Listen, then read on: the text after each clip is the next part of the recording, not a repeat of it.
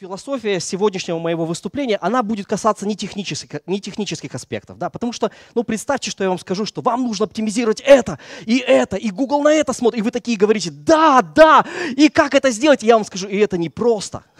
В этом надо разбираться. И вы говорите себе, о, окей, и тогда к чему все это, да? Поэтому у меня есть философия, скажем так, то, что я хочу вам сегодня донести. Больше всего я хочу, чтобы через 45 минут там, или через 35 минут вы уходили из этого зала с четким пониманием, что нужно что-то делать. Что время совсем очень сильно поменялось, что сейчас требования совсем другие, потому что не все, мне кажется, не все люди, даже те профессионалы, с которыми я общаюсь, они до конца это понимают. И часто идут на компромиссы. Я хочу вам сегодня показать, что компромиссы уже неприемлемы, что требования и планка очень сильно задрана. И говорить я буду вам ну, нам повезло на самом деле, потому что некоторая информация, я, если честно, запоздал со слайдами нашим организаторам, потому что некоторая информация была опубликована 4 ноября. Другими словами, мы будем фигурировать фактами, которые произошли 5 дней назад. Другая информация была опубликована 23 октября, это две недели назад. Другая информация 27 октября. Одним словом, мы будем говорить о очень актуальных вещах, на реальных примерах. И больше всего я хочу, чтобы вы ушли отсюда не с технической подгрузкой, а чтобы вы ушли с пониманием да, вот того, что скорость – это наше все, качество – это наше все, это требование, это сейчас уже requirement, это требование, это то, что от нас ожидается. Итак, начнем с квантового компьютера все-таки. Да. А, говорить буду быстро, как я с вами договорился. 23 октября подразделение Google AI. Что такое AI? AI — это Artificial Intellect, то есть э, искусственный эм, интеллект, да, Google AI Quantum Lab опубликовал отчет, и в этом отчете они говорили о том, что они первые в мире достигли так называемого квантового превосходства. Отчет назывался следующим образом. Quantum Supremacy using a programmable superconducting processor. Переводится это следующим образом. Квантовое превосходство использования программируемого, сверхпроводимого компьютера. И они заявлением этим своим, в принципе, подорвали научный мир. Потому что заявление, ну, оно означает, что не существует такого простого компьютера, который мог бы сравниться с квантовым компьютером Гугла. Более того, они заявили данные о этом компьютере и о результатах их исследований, которые ну, заставили даже возмутиться еще одного очень такого серьезного лидера по производству квантовых, квантовых компьютеров IBM.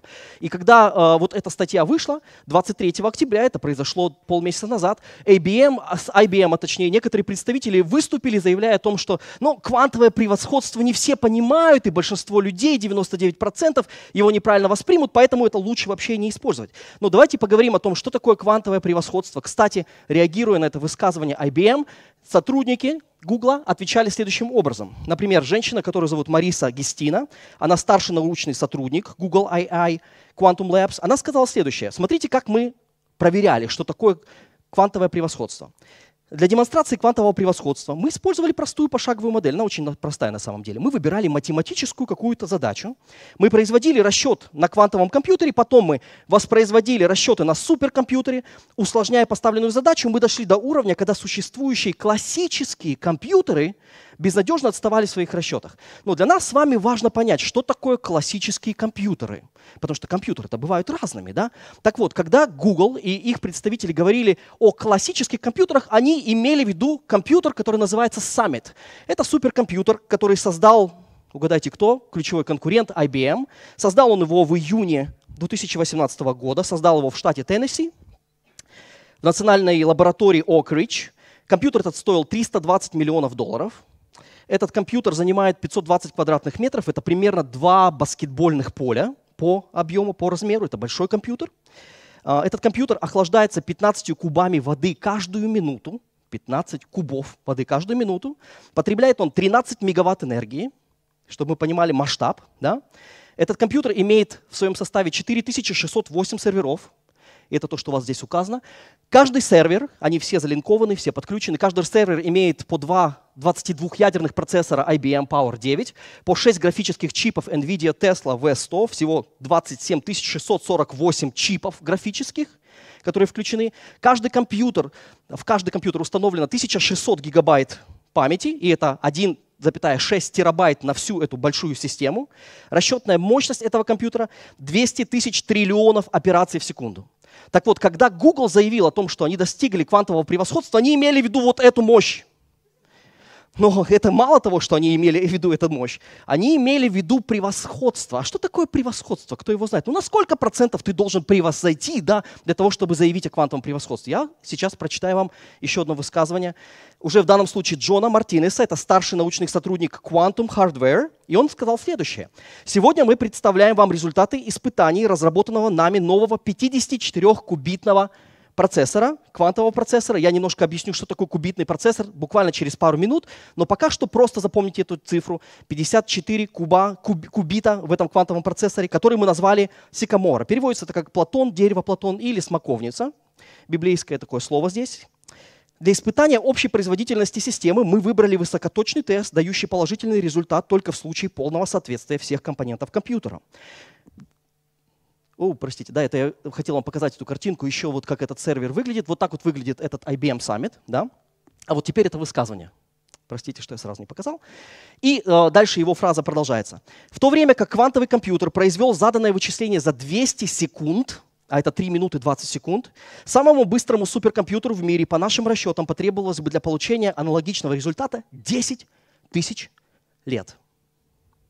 И это называется квантовое превосходство у меня срывает крышу.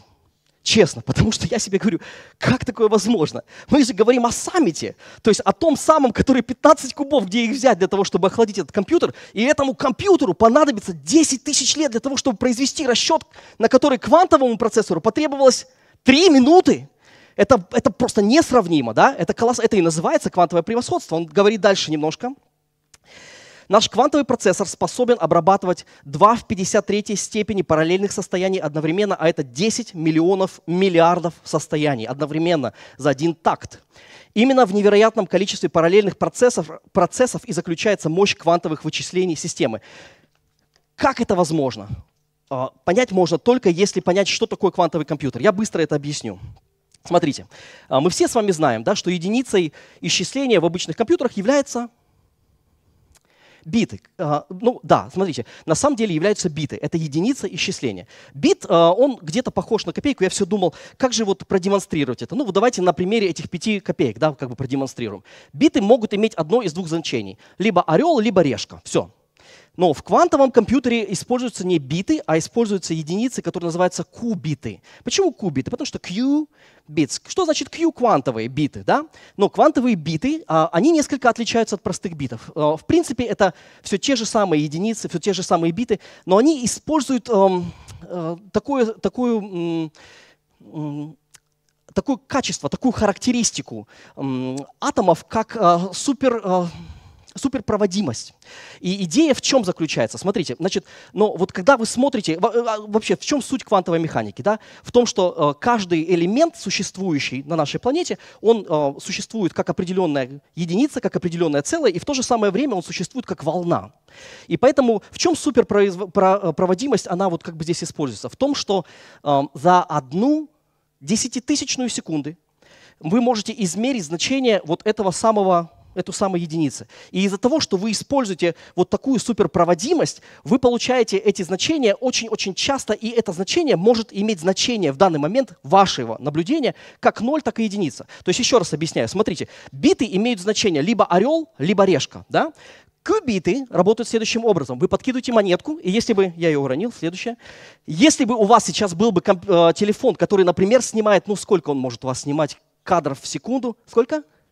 Ну, допустим, 60, а у некоторых есть там 240 кадров в секунду. И если бы я вас сейчас попросил заснять эту да, копеечку, которая подлетела, скорее всего, у некоторых было бы она повернута орлом, а у некоторых решкой, да, на фотографиях. И мы могли бы с вами поспорить. Но теперь представьте, а мы говорили с вами о 54 кубитных процессорах, представьте, что монетки одновременно подкидывают 50 человек. 54, если быть точно. И представьте, что вы фотографируетесь, и после этого мы пытаемся с вами узнать, так что же там выпало, да? Какова вероятность? что у каждого, хотя бы у кого-то из вас выпадут все одинаковые монетки, да, одинаковые стороны, учитывая то, как быстро подпрыгивает, как быстро летает это 5 копеек. Можно ее оставлять там, у меня еще несколько есть. Так вот, как это работает? Смотрите, друзья. Э, вот как работают кубиты. Один бит имеет всегда одно значение. Это либо 1, либо 0. У кубита у него два состояния это не значение, это состояние. То есть мы настолько быстро измеряем, что состояние, значение может быть как 0, так и 1 одновременно. Благодаря тому, что э, у него два состояния, происходит умножение в степень, во вторую степень с каждым последующим шагом. Два бита, ну то есть давайте поговорим на примерах, да, если один бит имеет одно значение, либо 1, либо 0, то один кубит имеет два состояния. Он может быть и нулем, и единицей одновременно, в зависимости от того, в какой момент, долю секунды, там, тысячную долю секунды вы измеряете. Два бита имеет два значения, но два кубита имеют уже четыре значения. Какие это значения? Они могут быть одновременно 0,0, 0, 1, 10 или 11. Три кубита, они имеют, три простых бита имеют три значения, но три кубита имеют уже 8 значений, не перед вами. 4 имеет 16 состояний, 8 имеет 256. А теперь мы говорим о компьютере, который имеет 54 кубита. Что такое 54 кубита? Это 9 квадриллионов состояний в каждый такт квантовый компьютер, в отличие от э, вашего мобильного телефона, работает примерно в 10 раз на нижней, э, меньшей частоте. Он работает на частоте 400 МГц. Ваше, большинство ваших э, мобильных устройств работает ну, в гигагерцовой да, частоте. Но он работает медленнее в 10 раз. Но за единицу он использует, получает 9 квадриллионов данных за одну единицу часа. 54 бита — это 18 квадриллионов. И там немножко снизу вот написано, можете это увидеть, если видно. 72 бита будет 4,7 секстиллиона, это 21 ноль после определенного числа, целого числа. Почему я упомянул 72, я вам сейчас объясню. А произошло это по следующей причине. Вам нужно знать историю того, как это происходило. Я расскажу сейчас быстро, и потом я объясню, почему это связано с WordPress. Да, да. Итак, июнь 2016 э, года. Вы уже должны здесь были почувствовать, что скорость — это наше все, что для Google и для IBM скорость — это наше все, что каждый из них пытается друг друга задавить и вырваться вперед, и это переносится на наши с вами технологии. Мы живем в этом мире, я сейчас вам это покажу. Смотрите, 2016 год. Google анонсирует планы создать 49-кубитный процессор. Почему 49-кубитный? Потому что уже были до этого 20-кубитные а, процессоры, и они не могли достичь этого превосходства, да, вот квантового превосходства. И Google сказал, при, э, при использовании 49 людей, которые подкидывают монетки, мы сможем получить такое количество данных, что саммит не сможет обработать такое количество данных. Они сделали такой расчет. И вот они в июне 2016 года об этом заявили. В ноябре 2017 года, через год, IBM объявила о разработке, начале разработки первого в мире 50-кубитного компьютера, 49 до этого, 50-кубитный компьютер. В марте 2018 года Google объявил о уже созданном 72 битном, кубитном компьютере. Вы видите эту гонку, да, чувствуете? Но проблема 72 кубитов, а мы говорим, что 72 кубита за раз обрабатывают 18 квадриллионов значений. Проблема в том, что у вас не будет мощностей в мире существующих, способных проглотить такую данные, такие данные, понимаете? Количество информации такое, что любая существующая система захлебнется. И они его таки создали, 72-кубитный компьютер. Он оказался ну, что ли, сверхмощным, и поэтому они его потом даунгрейдили, но они об этом заявили в марте 2018 года. Через три месяца э, IBM заявил о том, что они открыли вот этот самый саммит в июне 2018 года, вы уже помните, и что это самый мощный компьютер в мире, который на самом деле просто ну, переплевывает любые компьютеры, суперкомпьютеры в Китае и других стран. Буквально через несколько месяцев Google э, создал и начал тестировать вот этот самый 54-кубитный компьютер. Они начали его тестировать на технологиях NASA. У них есть э, заключенный контракт с тем, чтобы использовать их мощности, но этих мощностей оказалось недостаточно, и поэтому угадайте, кому они обратились за технической поддержкой. Они обратились к IBM, к этому компьютеру, к использованию этого компьютера Summit, и они начали тестировать свой квантовый компьютер, используя Summit. Но IBM получил информацию о том, что происходит, и буквально незадолго, в августе месяце, незадолго до того, как э, эта информация о том, что все-таки квантовое превосходство достигнуто, IBM опубликовала информацию о том, что они создают 53-кубитный, это, это произошло, если быть точным, 20 сентября, воскресенье, IBM опубликовала этот пресс-релиз о том, что они создали 53-кубитный квантовый компьютер, который называется Big Blues, и они сказали, что в октябре мы предоставим сторонний доступ к этому компьютеру для ваших там определенных задач за огромные деньги. Но это произошло 20 сентября. Теперь 23 сентября, через три дня, вдруг по какой-то определенной причине сайт НАСА в своем техническом блоговом разделе публикует информацию о том, что Google, это через три дня происходит, уже достиг квантового превосходства. И в этот же самый день, спустя буквально час, эта информация пропадает с сайта. Никто не может объяснить, откуда она появилась. Правда, это неправда. Весь мир варит с 23 сентября по 23 октября они варятся и обсуждают, что произошло на самом деле. Это правда, потому что если это правда, и мы говорим о десятитысячном превосходстве, да, 10 тысяч, сколько там говорилось, да, по сравнению с тремя минутами, то это просто колоссальнейший прорыв в скорости, в производительности, и спустя ровно месяц, 23 октября, Google публикует э, статью у себя на сайте, э, в научных журналах, и они выпускают видео, в котором они говорят о том, что да, такие этот компьютер существует, 54 бита, мы смогли это обработать, и они там рассказывают о том, как они использовали.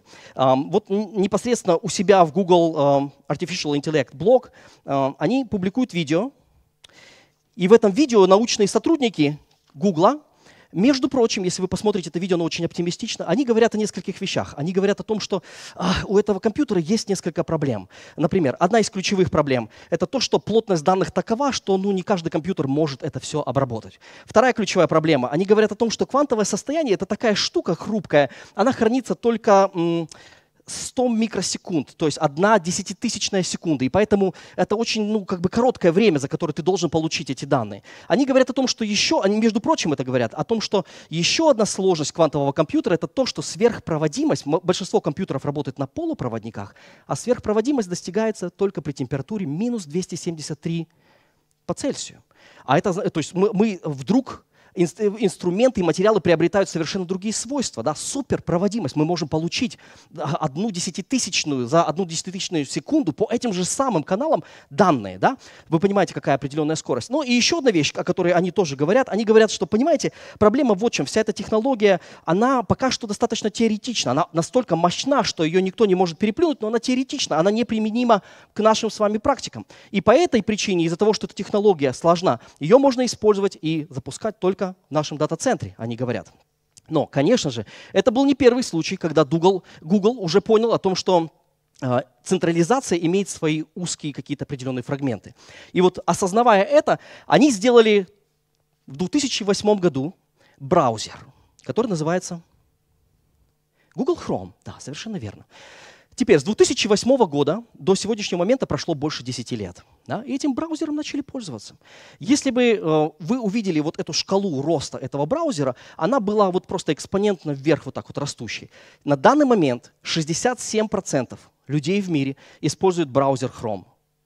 Среди мобильных пользователей это число достигает 64% по самым последним данным, которые я смотрел на октябрь 2019 года. Но начиная с нуля, этот браузер за 10 лет сейчас захватил фактически весь мир, он стал абсолютно большинством, абсолютным лидером, и 67% людей начало использовать этот браузер. Почему я говорю сейчас о Google Chrome в свете квантового компьютера? Квантовый компьютер — это очень централизованная система, она невероятно мощна, и Google это тоже осознал. Понимаете ли, если вы используете инструменты для оценки качества, качества, и эти инструменты находятся у вас в дата-центре, вы получаете одностороннюю информацию. Вы получаете информацию о сайтах с вашей точки зрения.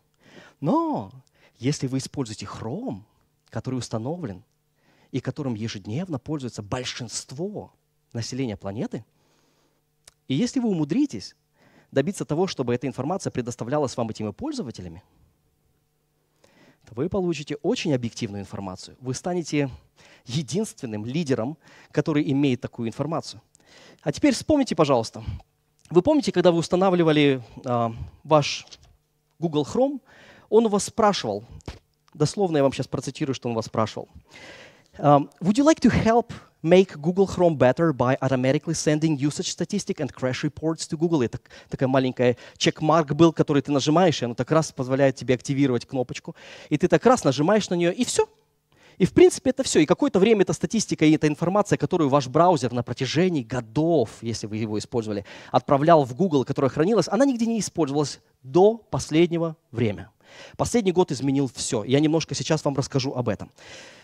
Кстати, говоря еще немножко о квантовом тоже превосходстве, а, человек, который зовут Хармут Невин, он глава Google AI Quantum Lab, говоря об этом, он признал, что квантовый компьютер имеет свои узкие определенные ворота, да, которые невозможно использовать для нас, всех с вами в практическом мире. Можете прочитать это определенное высказывание, которое он сказал. Именно так рождаются технологии. Космический век получил свое начало с запуска на орбиту Земли примитивного спутника. Единственной задачей этого спутника на тот момент была простая генерация повторяющихся сигналов. Для чего это оправдание? Ну ведь это же оправдание, да? Для чего это оправдание? Ну потому что он как бы говорит, да, технология настолько мощна, она неприменима к практической жизни. Он говорит, сегодня мы открыли для мира новые вычислительные возможности. И эти вычислительные на данный момент, вычисления на данный момент можно произвести только в нашем дата-центре Google в Санта-Барбаре. Что очень круто, конечно же, да? Но вот они в этом свете создают браузер, который к нам с, нами, с вами сейчас эм, относится, уже к нашей тематике относится. И 4 ноября, 5 дней назад, проходит э, так называемая Google Webmasters Conference, конференция веб-мастеров, которую проводит Google. Это первая конференция вообще, которую когда-либо Google проводил по этой определенной тематике, непосредственно так назвав, официальная конференция Google для веб-мастеров. Она проходит 4 ноября в Google Plex, то есть в официальном центре Google. Mountain View в Калифорнии. И там они говорят о том, что, ну да, вот много новостей, всяких нововведений мы внедряем в Google Search Engine. Кто из вас знает, что такое Google, Google Search Engine? Это очень хороший инструмент, который Google предоставляет вам для того, чтобы вы получили информацию, как он видит ваш сайт, какие проблемы существуют, по каким поисковым словам вы находитесь. И они говорят, мы впервые в истории Google вводим так называемый или даем доступ, публичный доступ к так называемому Speed Report. Этот Speed Report они заявляют пять дней назад, будет основан на том, что они э, в смешной форме сокращают как хрюкс. Что такое хрюкс? Это Chrome User Experience. На самом деле они используют эту вот как бы аббревиатуру CRUX на своих сайтах в официальной документации хрюкс, да, они так и говорят. Так вот, этот Speed Report в вашем Google Search Console теперь будет использовать данные, которые сообщаются кем? Реальными людьми. Вы понимаете, друзья, то есть мы говорим о том, что пять дней назад Google официально признал, что они имеют огромнейшую базу данных от людей со всего мира. И объясняя, между прочим, этот шаг, они опубликовали на uh, webmasters.google, не помню, docs, по-моему, опубликовали статью, которая называется «Три мифа о исследовании, о Three Myths of Performance э, Measurement».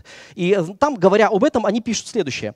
Um, невозможно узнать о производительности сайта, получая информацию из одного источника, из своего собственного как бы дата-центра, своего собственного квантового компьютера, если хотите. Информация отличается. Разные люди живут в разных областях. Они достигают, прикасаются к вашему сайту из разных определенных сфер. И получая эту информацию от разных людей, с разных устройств, вы понимаете, что мобильные телефоны имеют разное быстродействие. Вы понимаете, что мобильные сети имеют разное быстродействие. Понимаете, что количество программ, которые запущены на одном и том же мобильном устройстве, устройстве будут иметь разное быстродействие, что человек с одного и того же устройства, пытающийся достучаться до одного и того же сайта из двух разных локаций, будет иметь разные данные. И поэтому Google это и объясняет. Они говорят, для чего нам нужен, почему мы теперь будем с этого момента использовать хрюкс в наших э, отчетах, потому что это объективный взгляд. Ну так они, простите, так они называют. Я вижу, что вы улыбаетесь, так они на самом деле объявля... э, называют это. И вот, э, смотрите, друзья, теперь э, что это меняет для нас с вами? Да? Сейчас я расскажу вам еще в течение 10 минут, что такое Google PageSpeed, как он изменился, и вы поймете, что вот то, о чем мы говорили в начале, про то, что скорость и данные пользователя, а это, между прочим, доказательство, которое вы не сможете оспорить. Если, например, вам бы оценку поставил, ну, представьте, что вы учитесь в университете, да, о, нет, давайте представьте, что вы участвуете на каком-то национальном конкурсе, ну, X-Factor, например, да, и вот три человека судьи или пять человек судьи, судьи выносят вам оценку, и вы говорите, а, я не согласен с этой оценкой. И для того, чтобы таких возмущений не было, вам говорят, что оценку вам будут ставить кто? Зрители. И зрители решили, что вы уходите отсюда. И что вы скажете? Что вы скажете всем зрителям, которые за вас не проголосовали? Ничего, да? То же самое происходит сейчас с Хрюксом. Он предоставляет эту информацию, и вы ее не можете оспорить. Chrome User Experience — это реальные данные реальных людей. И если ваш сайт, к примеру, то есть вы только представьте гипотетически, как эта э, информация может влиять на вас. Представьте, что ваш сайт нацелен на Соединенные Штаты, но вдруг к вам, например, начинает приходить 15% посетителей из Индии, и вы можете представить, что их данные будут отличаться в нижнюю сторону, их данные будут иметь большую задержку, их данные будут иметь худшие показатели. И, конечно же, получая такую информацию, ваш speed report будет показывать downgrade, будет показывать, что ваша как бы, шкала пошла вниз. Так вот, э, это поменяло все на самом деле, и вот как это все менялось на протяжении времени. Итак, 29 октября 2013 года, мы безнадежно отстали по нашим слайдам, да, вот, появился PageSpeed версии 1. Еще раз, запоминайте даты, чтобы вы увидели масштабы и скорость развития последних полугода, последнего года, последних шести месяцев. 29 октября 2013 года появился первый PageSpeed. Что он умел делать? Для чего он использовался? Для тех, кто не понимает, я сейчас расскажу. Смотрите, а, Google же сканирует страницы, правда? Да? Он не только сайты сканирует, он сканирует страницы. У них была и существовала всегда проблема квантового масштаба. И проблема эта заключалась в следующем. Они говорили, мы все сайты и скорость сайтов измеряем по результатам сканирования нашими роботами, нашими ботами, нашими краулерами, да, как бы паучками. И они говорят, это не то же самое, что скорость или производительность настоящих пользователей, ведь у них разные устройства. Но на каком э, устройстве работает Google, Google Bot, Google Mobile Bot? То есть определенный маленький робот или программка, которая подключается к вам, она работает на сверхмощных устройствах, на сверх, сверхмощных скоростях, по сверхмощным каналам широким. Ну, а люди-то простые, они же используют разные мобильные сети. Кстати, я упомяну сейчас о том, что сейчас на данный момент PageSpeed использует э, так, так, так называемый параметр быстрый 3G Network для оценки вашего мобильного устройства, и вы сейчас поймете, как это сильно будет влиять. Так вот, 29 октября 2013 года они создают PageSpeed первой версии. Они проверяют следующие факторы. Я сейчас немножко расскажу. Первый фактор, который они проверяют, это скорость отклик, отклика сервера, на котором установлен ваш сайт. А, что такое TTFB? Это а, Time to First Byte. Это означает, они смотрят, как быстро ваш сервер ответит на запрос определенный. И они уже тогда утверждают, что ваш сервер должен ответить за одну пятую секунды. То есть за 0,2 секунды настолько быстро вы должны генерировать. Может ли WordPress это обеспечить? Он может это обеспечить только если вы используете плагин кэширования. На большинстве хостингов вы обязаны использовать плагин кэширования. Это первый практический совет. Без этого весь код WordPress, вашей темы и плагинов будет каждый раз генерировать один и тот же контент, и это потребует большего времени до первого байта, который будет отправлен обратно. Это происходило уже в 2013 году. Они проверяли, загружались ли дубликаты. Это я сейчас вам привожу эти данные из официальной статистики, официального changelog PageSpeed Google. Они уже тогда проверяли, использует ли ваш сайт и загружает ли он дубликаты ресурсов. То есть, к примеру, вы можете подгружать э, jQuery, библиотеку, официальную WordPress, и в тот же самый момент какой-то плагин может загружать еще один раз эту библиотеку. На тот момент они уже это проверяли в 2013 году и говорили, а, это плохая практика, пожалуйста, удалите, измените. Они измеряли, проводите ли вы перенаправление, что неразумно. Кстати, давайте я вам скажу о том, что даже сейчас а, Google AdSense код производит ну, как минимум три перенаправления при каждом запросе. И это вызывает какие-то определенные нарекания со стороны Google PageSpeed. Да? Поэтому если вы устанавливаете Google AdSense рекламу на своем сайте,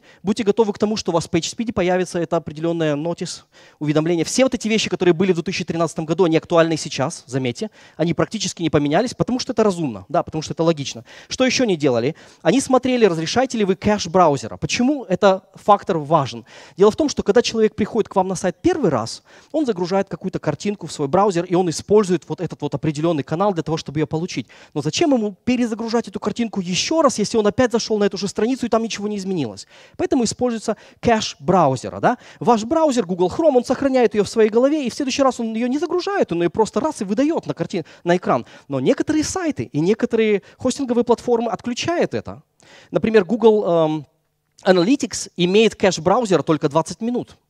И Google очень сильно ругается на это. И он вам, если вы запустите программу, он скажет, почему вот у вас этот сторонний скрипт. И сейчас уже Google PHP достаточно умный для того, чтобы просто поместить Google Analytics в так называемые third-party scripts и как бы не ругаться об этом. Ну, сказать, ну, есть такие скрипты, которые как бы тут вот такую беду небольшую делают, но они как бы third-party scripts, и к тому же с приставкой Google, поэтому мы на них сильно не будем обращать внимание, но они есть как бы, да, так. Но раньше они возмущались и указывали. Давайте я сразу скажу, что на данный момент Google предлагает, рекомендует, не требует, но он хочет, чтобы ваши статические файлы, а это изображение, это CSS-файлы, которые не меняются, и JavaScript-файлы имели время кэширования год. Это то, что они официально пишут в своей статистике, что на 365 дней вам рекомендуется кэшировать ваши статические файлы, которые практически никогда не меняются. Если вы хотите их поменять, измените название файла, и он автоматически подгрузится. Да? Вы понимаете это? Они проверяли, сжаты ли изображения уже тогда в 2013 году, потому что изображение можно немножко сжать. Сжаты ли э, JavaScript скрипты, сжаты ли э, CSS стили, сжат ли HTML код. И это была только первая версия. Это был 2013 год. Прошло два года ничего не, не делания, по сути.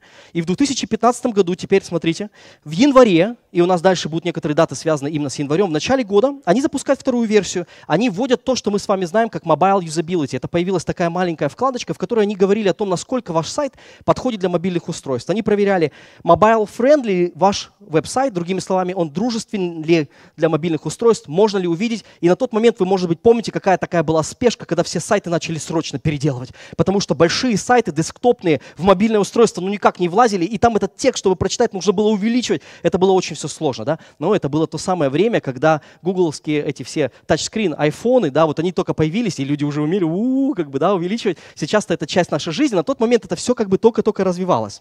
Они проверяли, установлен ли viewport э, в вашем странице прописано или нет. Почему это важно? Потому что мобильные устройства, они не показывают все на э, экране, они показывают все внутри окна на экране. И окно может быть разным. И вы, например, могли задать, что вот мой сайт хочу показывать внутри этого окна такого-то размера, увеличенным в два раза или уменьшенным в два раза, потому что ну, вот он так плохо сделан, например. Да? И они это проверяли уже тогда. Они проверяли, читабелен ли текст на мобильных устройствах. И если вы не позаботились об этом, это тоже даунгрейдило вас в определенном рейтинге.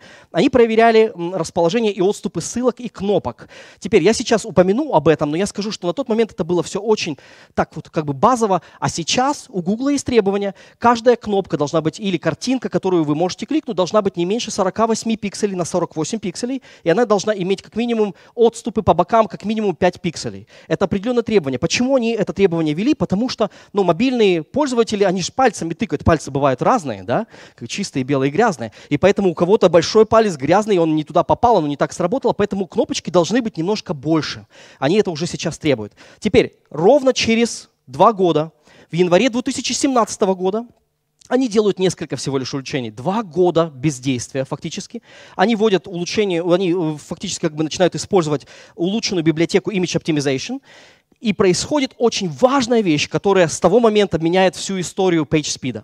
Они меняют э, браузер-движок, э, ядро браузера. Они отказываются от Apple'овского WebKit, и они меняют его на свой собственный Blink, на котором до сих пор работает Chrome. Значит, запомните, с этого дня, с этой определенной даты, Google начинает рассматривать все по-другому. С этого момента они начинают рендерить, смотреть на страницы, на все, что происходит, на все тесты. Они начинают смотреть своими собственными глазами. С этой поры они начинают собирать данные о которых мы даже с вами не знаем, и это происходит в январе 2017 года, они начинают впервые смотреть за тем, а, есть ли у вас определенные ресурсы, например, какие-то скрипты или какие-то стили, которые загружаются до контента. И таким образом они как бы блокируют контент. Это называется render blocking. И они используют как раз-таки этот движок для того, чтобы это проверить. До этого момента они не хотели это делать, но сейчас все поменялось. Да? И вот тут вот они уже начинают собирать эту информацию из хрома. На данный момент 67% людей спонсируют эту информацию и отдают эту информацию.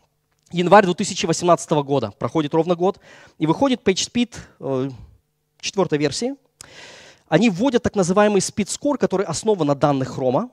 Это тоже очень много меняет. Они утверждают о том, что эти данные, они, о, это четвертая версия, они утверждают, что эти данные, они на самом деле единственные актуальные данные, и по этим данным можно измерить, насколько ваш сайт мощный. Теперь, как это относится к нам с вами?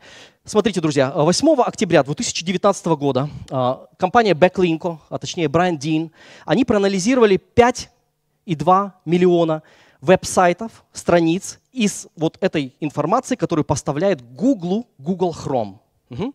Они составили отчет, вы этот отчет можете, запомните, пожалуйста, эту ссылку, она достаточно интересна, можно посмотреть, как по их отчету из официальной информации э, Google рассматривает скорость различных CDN, потому что различные performance testing, там онлайн-тестинг tools, они показывают одни данные, но Google показывает из этой библиотеки, из так называемой BigQuery, а между прочим, это открытый open source библиотека данных, которые получают из Chrome, ну, точнее, тех данных, которые Google решил выложить, согласно этим данным, они, эти данные не совпадают с CDN. Поэтому, например, я вот слышал сегодня утверждение про определенные CDN, которые высокоскоростные, являются лидерами. Согласно этим данным, данные совсем другие. Да, окей, спасибо. Так вот, запомните эту, пожалуйста, ссылку backlink.com slash pagespeedstats. Согласно этим данным, и вам этот слайд не понравится, WordPress сайты WordPress очень сильно отстают в скорости от всех других сайтов. И это не данные, которые кто-то когда-то сфабриковал или сделал. Это данные, которые предоставляют реальные пользователи. Это плохая информация. Согласно этой информации, посмотрите, пожалуйста, только 25% сайтов WordPress во всем мире являются быстрыми. Все остальные с точки зрения Google, они безнадежно отставшие. 36% они являются moderate, то, что они называют moderate. Moderate это, медленные сайты, которые неудовлетворительные. И еще 38% это откровенно slow веб-сайт, сделаны на WordPress. Поэтому почему я так акцентирую вам внимание на то, что Google использует Chrome? Почему я так акцентирую внимание, что 5 дней назад Google заявил о том, что мы вводим этот speed report в ваши Google консоли? Потому что WordPress, согласно этим данным, которые Google использует, это называется, Google это называет real world data. Другими словами, это вам не штучки, не игрушечки, это настоящая информация, которую мы получаем из различных частей мира. У них есть еще понятие lab data, о которой сейчас я упомяну в течение, если можно, еще пяти минут. Так вот, согласно этим real world data, WordPress, CMS-платформа безнадежно отстала. Есть для этого причины. И эти причины устранимы. И поэтому сейчас я расскажу вам уже немножко про PageSpeed, в котором мы с вами живем. Теперь смотрите. Ноябрь 2018 года. А, так как Google год назад поменял движок которым он рассматривает веб-сайты и тестирует веб-сайты, он начал собирать информацию. Целый год он собирал информацию. Теперь в следующем году они на самом деле не только собирали информацию, они разрабатывали другую, эм, другую программу, которая называется, ну, как бы определенный алгоритм ранжирования проверки сайтов, который называется Lighthouse. Да, переводится это как маяк. И они его, вот этот вот э, алгоритм, они его очень тщательно развивали. Теперь в ноябре 2018 года они официально заявили, что вот этот инструмент PageSpeed это теперь всего лишь как бы дочка Lighthouse. Это урезанная дочка Lighthouse. Поэтому с этого момента забудьте все про PageSpeed. И сейчас я хочу вам рассказать о том, что такое Lighthouse, потому что Lighthouse, который они объявили год назад, это то, с чем вы сейчас столкнетесь. То, что через полгода реально будет определять позиции поисковые позиции сайтов, с которыми вы работаете. Еще раз хочу объяснить, что происходит. Смотрите, они поняли, что они не могут, ну как бы это логично, да, не, не могут с одной локации или с нескольких локаций а, оценивать сайты. Поэтому они отказались от этой квантовой идеи централизованной оценки, они распределили ее по пользователям. Пользователи начали предоставлять реальные данные. Если вы посмотрите, что получает Google, он получает точное время, он получает а, IP-адрес этого человека, точную локацию, откуда он поступает. Они получают агента, откуда, с какого браузера человек открывает этот ваш определенный сайт, они получают данные о его сети, они получают данные о загрузке его процессора, они получают очень много данных, и потом они получают данные, которые Google использует для оценки производительности. Сейчас я вам эти данные назову, но перед этим позвольте вот, что я вам скажу, э, покажу определенный еще один список. Смотрите, Lighthouse на данный момент, этот, э, эта версия вышла э, в ноябре, в октябре, простите, 2019 года, но на данный момент Lighthouse имеет версию 5.6. Поэтому вот то, что информация, которую вы сейчас получите, это информация от полумесячной давности. Это то, что на самом деле реально существует. Значит, сейчас Lighthouse — это инструмент аудита качества всего сайта, или точнее каждой страницы. Это не просто производительность, это вообще качество всего сайта. Он э, уже сейчас на данный момент не extension, то есть не приложение, а он уже встроен в DevTools каждого Chrome приложения. Вы его можете запустить, нажав F12, если у вас Windows, и он, вы его там найдете, вы можете в маленькой такой вот табе, который называется аудит, вы можете запустить и получить данные этого определенного алгоритма в каждом браузере Chrome. Это уже встроено и логично. Почему? Потому что это все используется для анализа каждого посещения страницы. Да? Um, использует этот Lighthouse только э, real world data или он использует так называемую lab data. Что такое такое Lab Data согласно Lighthouse? Это симулированное э, воссоздание э, условий, которые они своим искусственным интеллектом научились воссоздавать из тех данных, которых у них есть. То есть, к примеру, есть у вас какой-то сайт, и вы хотите его проанализировать, а нету информации, достаточной информации от пользователей Chrome. Что в этом случае делать? Они берут, делают запрос к вашему сайту, получают информацию и говорят примерно следующее. Если бы мы подключались к этому сайту или к этой странице, используя мобильное устройство Nexus 5, а они используют Nexus 5 в PageSpeed, Speed и в Lighthouse, то тогда, скорее всего, скорость была примерно такая же. И это называется lab data. То есть это как бы, понимаете, да, синтетически сгенерировано. Мы как бы ну, предполагаем, что так оно есть. Поэтому если вы запустите или Lighthouse, или PageSpeed, вы увидите, они напишут. О, я вам сейчас еще одну вещь расскажу, которая очень важна. А таких вещей очень много. На самом деле за последние недели очень много всего. Да, я видел, что одна минута. А, вы позволите мне еще занять у вас пять минут и не дать вам возможности задавать вопросы? Окей, тогда я выгружаю на вас информацию быстро. Смотрите, что происходит. Сейчас, если вы запустите PageSpeed, и ваша страница будет грузиться с серверов, которые на протяжении какого-то времени выдавали очень плохие результаты, Google вам напишет, что согласно нашим данным, которые мы получили от пользователей на протяжении последних 30 дней, мы сегодня с одним из парней проверяли это все дело, и это прям читали вместе с ним, согласно нашим real-world данным, ваш сайт грузится медленно с этого сервера, и поэтому мы предлагаем вам измените сервер раз или хостинг, улучшите производительность, то есть апгрейдите ваш определенный план, или просто перейдите на другую платформу. Другими словами, мы недовольны даже тем, что вы находитесь на этой определенной платформе. И теперь, ребята, здесь я вижу программистов, я не знаю, есть ли тут наши представители хостинговой компании, с которыми я сегодня общался, от вас зависит очень многое. Теперь, если ваша компания, хостинговая компания, будет выбивать у меня такую оценку, я буду думать о том, как перейти на другую хостинговую компанию. Вы теперь заложники, Google PageSpeed. Но это факт, понимаете, да? И это данные, реальные данные, то, с чем мы соприкасаемся. Теперь смотрите еще.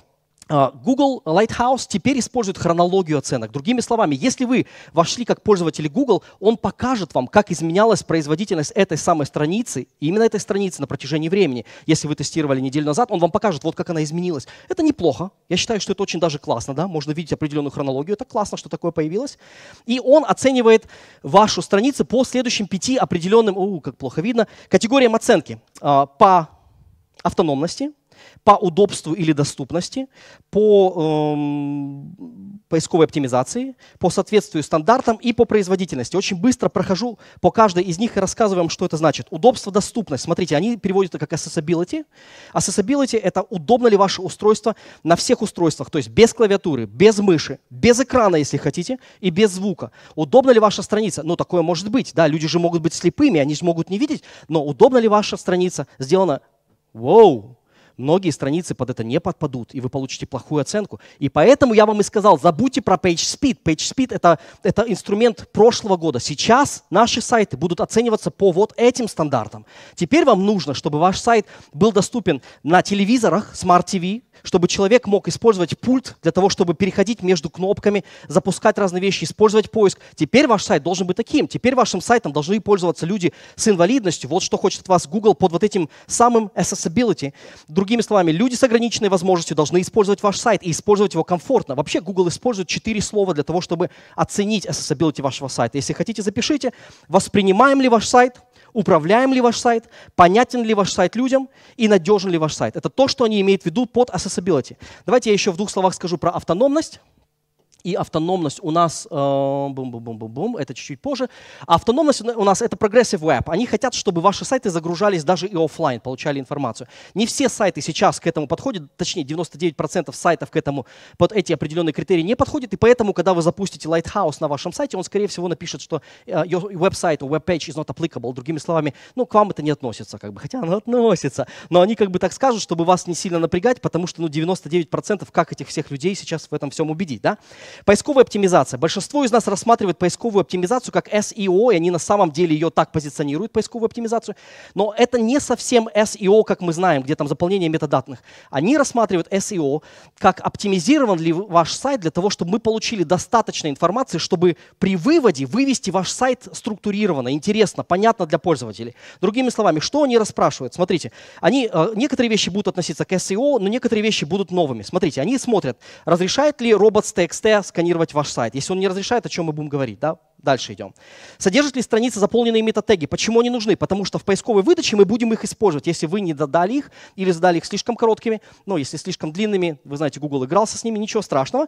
Но главное, чтобы они существовали. Существуют ли на вашей странице структура, структуральные данные, схема, markup дата? Это очень сейчас становится важным. Google хочет получать структурированные, понятные, очень правильные, четкие данные. И я слышал, что в одном из тоже утверждений сегодня говорилось, что это не так важно. Это неправда. Google теперь это начинает требовать. Он хочет, чтобы structured data была без ошибок, и они могли это использовать в поисковой выдаче. Почему? А потому что на этой же конференции пять дней назад они заявили о том, что теперь уже в поисковой выдаче Google не будет 10 простых ссылок, которые человек получает под каждой, и ссылок будут такие как бы подпункты, которые они будут внедрять. И эти подпункты о том, какие там еще темы можно посмотреть, на какую страницу перейти человек может. Вот вот эти подпункты Google будет брать именно из structured data. Кстати, знаете ли вы о том, что 52% на, на данный момент, это официальная информация, всех поисков в Google не переходит на сайты. Человек получает информацию на поисковой странице Google 52% всех поисков на Google, и вы даже не получаете этого посетителя. По этой причине так важно предоставлять и соответствовать этому всему, чтобы Google сказал, о, у вас bounce rate такой, такой низкий, да, что вы так мало пользователей покидают ваш сайт, что ваш сайт мы выведем, на ваш сайт мы переведем людей. Так и быть, мы не будем как бы его использовать для того, чтобы, ну, как бы предоставить информацию. Еще что проверяется – Проверяется а, так называемый канонический адрес на каждой странице. Они хотят видеть, что этот адрес, который они сканируют, это тот самый адрес страницы, который они должны сохранить в своем индексе. Они это сейчас требуют. Они смотрят, завязаны ли hreflang теги. Я сейчас буду говорить уже больше про WordPress и привязывать. А, существует один такой плагин, с которым я столкнулся месяц назад, уже все, времени нету. Очень, три минуты еще, да, постараюсь. Одна минута. Окей, okay, uh, G-Translate. Возможно, вы слышали про этот классный плагин. Этот плагин имеет очень серьезный баг, если ваши URL переводятся. Он не валидизируется в Google uh, Search Console, он выбивает кучу ошибок. Я связывался с uh, ребятами-разработчиками, объяснял им ситуацию. Они не знали о этой ситуации. Две недели назад я им сообщил эту ситуацию, они признали эту ошибку. На данный момент они рекомендуют отключить hreflang теги или отключить перевод URL. То есть, другими словами, одна страница, например, DDD about, а на русском языке это будет, например, там DDD о нас, они теперь говорят, пусть это будет DDD о about но как бы, подождите, у меня же все канонические ссылки уже завязаны на о нас, и как я так могу просто взять и отключить? Я не могу это сделать. Но решение проблемы очень сложно, потому что у них такая структура. И, в общем, это то, с чем мы сталкиваемся. Google, Search Console теперь это требует, они хотят, чтобы это все было четко. Они смотрят, имеют ли ваши ссылки э, смысловые якоря. То есть, другими словами, есть ссылка, должно быть написано, про что эта ссылка, куда она ведет. Они это требуют сейчас. Если вы это не сделаете, если у вас будет пустая ссылка, они вас реально покажут это как warning определенный. Кстати, давайте еще одну вещь скажу, что в Lighthouse каждый warning, каждое определенное предупреждение имеет определенный вес. Есть так называемые очень важные, они прям так и напишут, а, а другие есть moderate, они другие как бы, ну, такие как бы как notice, да, то есть как бы, между прочим, мы вам это сообщаем. Так вот, те из них, которые очень важны, а, эти нужно исправлять как можно быстрее, да, high risk, там определенные утверждения. Что еще не проверяют, они смотрят, если изображение альты, если у вас изображение является ссылком, ссылкой, то изображение должно иметь alternative text. Обязательно. Согласно, там еще сейчас проговорим про best coding, все изображения должны иметь у вас uh, dimensions, должно быть указано, какая ширина, какая высота. О, а вы знаете, что есть определенный визуальный редактор? Ой, сейчас вам интересную еще вещь расскажу, если мне позволят, что не все визуальные редакторы выводят ширину и высоту, не все даже выводят альты. И есть, например, такой uh, редактор, который я назову Kiwi, вы знаете, про какой визуальный редактор я сейчас сказал, не хочу, чтобы потом там все остальное попало, на меня в суд подали. Так вот, их image module, модуль в последних версиях, сейчас они выпустили четвертую версию, в последних версиях 3, там, точка 8, по-моему, была, он вообще не выводил dimensions. Он просто вываливал полноценный файл и изображение. Даже если вы выбирали какого-то маленького размера, максимально большой файл показывался изображение на странице. И только если вы его делали embed, в текст, тогда он выводился правильный, который вы указывали. Это такая большая, огромная ошибка image модуля, которая существует. Google на все это смотрит. Он смотрит, есть ли интерактивные элементы. Помните, я вам сказал, что все интерактивные элементы сейчас в SEO должны иметь 48 на 48 пикселей размера. Это обязательно. Они смотрят сейчас и уже проверяют, есть ли ваш текст, имеет ли ваш текст читабельный формат, и что под читабельным форматом они подразумевают. Ваш текст, 60% вашего текста на странице должен быть не меньше размера 12 пикселей. PX. Это то, на что смотрит Google. Это сейчас такие стандарты, друзья. Я не говорю сейчас о том, какие рекомендации. Это вы получите уведомления в Lighthouse. Lighthouse стал очень умным. Дальше продвигаемся быстро. Они хотят, чтобы вы соответствовали стандартам best practice. Они хотят, чтобы ваш... Мне опять показывают одна минута, э, и я согласен с ним с этой одной минутой. А, они хотят, чтобы ваш, ваш сайт или ваша страница не выдавала ошибок в браузере. Окей, я, я иду просто по списку, хорошо? А вы вместе со мной следите. Давайте мы будем вот так вот вместе следить быстро за этим всем. Они хотят, чтобы вы обязательно использовали HTTPS протокол, чтобы у вас не было так называемый mixed content. Другими словами, вы подключаетесь по безопасному протоколу, а картинки грузите по простому протоколу. Это запрещено сейчас. Это будет у вас высокого уровня предупреждения выводить. Они хотят, чтобы страница соответствовала стандартам стандартам Google. э, и у них эти стандарты, они прописаны в webmaster.google Google Dev документах, это тоже можно читать. Они хотят, например, как пример, чтобы ваши страницы имели правильную иерархию, чтобы H1 был, потом H2, H3, а большинство разработчиков как создают страницы? Они такие, о, можно использовать H4, потому что это большой толстый шрифт, давайте мы его сейчас сюда как вставляем. Получается там каша-малаша. Ну такое же есть, да? Такое есть. Очень часто мы с этим сталкиваемся. Google требует, чтобы ваши сайты сейчас были качественные. Воу, это все меняет. Это реально все меняет, это все усложняет. Теперь простые некачественные сайты создавать уже неправильно. Он спрашивает, эм, он выводит ошиб, э, не ошибку, а предупреждение, если вы запрашиваете геолокацию пользователя, где пользователь находится при загрузке сайта. Еще раз, если вы загружаете страницу и вы сразу спрашиваете, можно мы будем использовать вашу геолокацию, Google вам выдаст, выдаст уведомление о том, что это неправильно. Как же они хотят, чтобы вы использовали? Они хотят, у меня еще много информации, очень. Они, Окей. Okay. Они хотят, чтобы вы использовали... Тогда можно еще одну минуту, я очень быстро выборочно расскажу. Одну, реально одну минуту. Но это очень интересно просто. Теперь по WordPress очень быстро. Смотрите, друзья, они даже проверят... Они хотят, чтобы только при определенном клике на какую-то определенную кнопку вы запрашивали геолокацию. Например, вы спрашиваете что-то или оформляете форму, и тогда только, и они говорят, тогда человек получит как бы запрос, когда он этот запрос... Володя, дай нам еще одну минуту, у нас последний... WordPress 5 Версия WordPress 5 будет проверена Google Lighthouse, и он вам вывалит ошибку и скажет, вы используете WordPress, который содержит две уязвимости. Услышьте, мы сейчас используем WordPress 5.24. Если у вас не обновленный WordPress, они получат эту информацию. Они это узнают, они берут это из э, метатегов, и они это берут из разных всяких скриптов, которые используют. Теперь еще одна интересная вещь. jQuery. Знаете ли вы, что все jQuery библиотеки до 3.21 содержат две уязвимости, которые Google вам сейчас в Lighthouse напишет. Вы используете библиотеку, которая содержит уязвимости, обновитесь до 3.4. Но, простите, WordPress 5.24 предоставляет jQuery версии 1.12. Воу! Это вынос. Мы живем в совсем другом мире, совершенно верно. Даже э, Yoast SEO 9.1 содержит э, уязвимости. Последнее, что я вам скажу. Но я надеюсь, что это интересно. Да? Я надеюсь, что вы получаете информацию. В Lighthouse вставили то, что они называют стек-пэки. Для WordPress теперь будут выводиться определенные требования и определенные уведомления, которые только актуальны для WordPress. Как, э, о, вот это, вот это очень важная информация. Вы меня простите, но я это должен сказать. Это очень-очень важно. Смотрите, друзья, значит, нет, нет, нет, нет, нет. Это вам надо это увидеть, и вам надо это запомнить. А, у меня этого нету. Хорошо, значит, это, это на самом деле очень важно. Вот про, про производительность я обещаю на этом все. Значит, смотрите, есть один секрет, который Google а, реально предоставляет в своей документации. Ваши страницы должны выдавать информацию, так называемую above the fold, максимально быстро.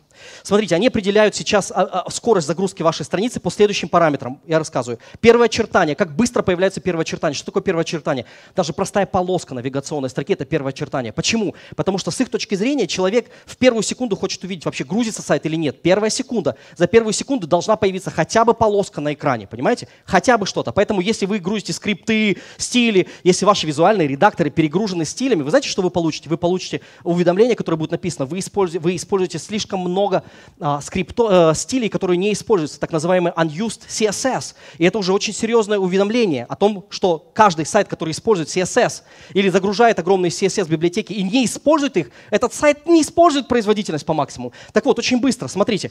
Первое очертание – это оценка с умножением на 3. Запомните это. Вы обязаны это сделать. Ваш Фактически все, что помещается на экран без прокрутки, должно выводиться со своими стилями, так называемые Critic CSS.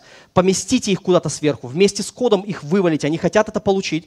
А умножение на 1, первая значимая отрисовка, то есть человек должен увидеть. И последняя оценка, которую я вам сейчас скажу, индекс скорости отображения. Они хотят увидеть, насколько быстро полученная информация отгрузилась в браузере человека. Некоторые браузеры долго это все обрабатывают, потому что там очень много всяких разных скриптов, которые требуют эту обработку, компиляцию и все остальное.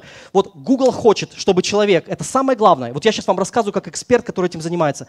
Если вы сделаете, чтобы ваши страницы вот выдавали верхушку, шапку, первую вот, вот вмещающуюся картинку в верхнюю часть экрана на десктопе или на мобильном, если вы сделаете, чтобы это выдавало за 2 секунды, вы будете получать лучшие оценки чем все остальные. Это крайне важно. Поэтому так называемый critical CSS, все вот эти вот шапки, основная структура.